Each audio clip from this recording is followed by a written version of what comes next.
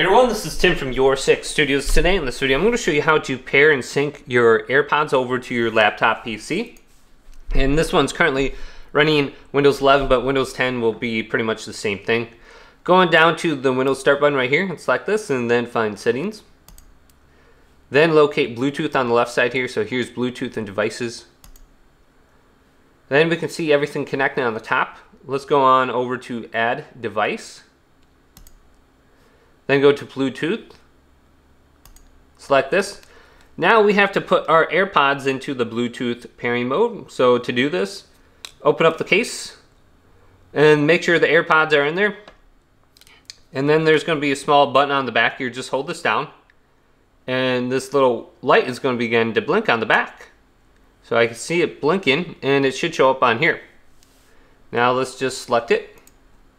And it's connecting and the audio is now connected with the microphone.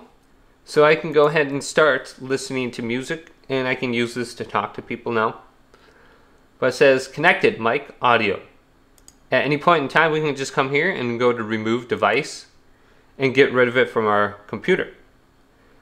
But hopefully this video did indeed help you out. If it did, leave it a big thumbs up. And subscribe to my channel down below for more tech videos coming up next on Your Six Studios.